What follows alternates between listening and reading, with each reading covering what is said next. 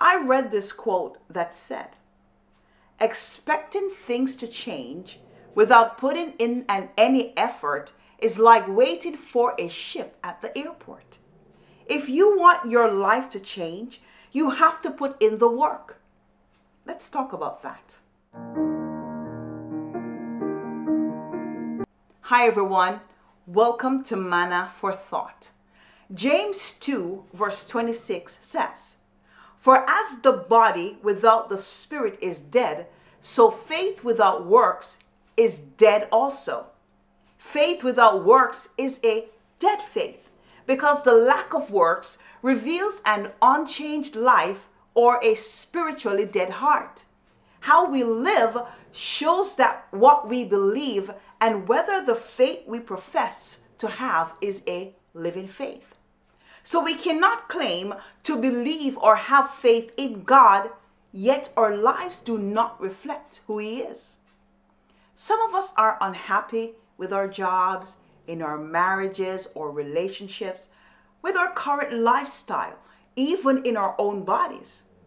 We've all been there or will be there at some point. Feeling like you don't know who you are or where you belong, feeling lost or frustrated or even stuck.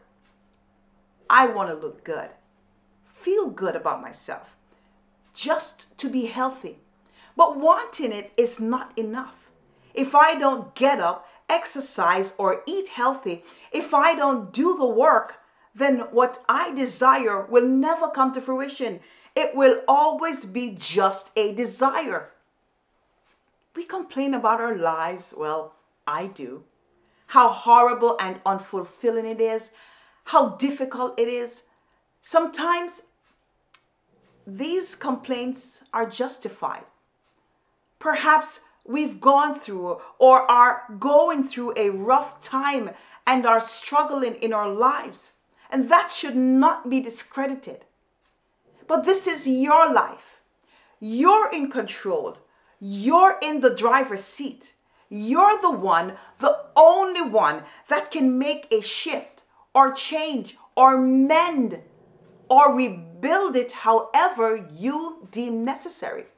So if you're not happy, do something about it, but you have to put the work in. James was a wise guy. In verse 17, he said this Even so, faith, if it hath not works, is dead being alone. So, wanting, hoping, dreaming, or desiring, it's not enough. We need to start doing. If you're tired of the same routine, shake it up, but you have to put the work in. If you hate your job, pursue other options, but you have to put in the work. If your relationship has lost its spark, see what you can do to change it. Get help but you have to put in the work. Just believing that things will work out or change, it's not enough. If you fall, get back up and try again. But getting up requires you putting in the work. If you fail, don't give up. Start again and remember it's not how many times you fail, but it's what you've learned from failing that defines who you are. But if you, but you have to put in the work. Your actions and your belief system, they have to agree. The truth is, if you want something bad enough, you'll pursue it, whether a dream, a goal, idea, or state of being. So don't hold yourself back anymore. Your best life is, always has been, and always will be within reach.